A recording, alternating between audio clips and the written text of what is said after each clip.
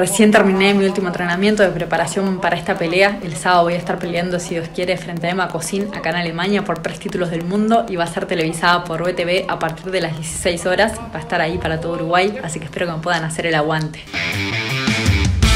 Llegó la hora. Es momento de ir por todo.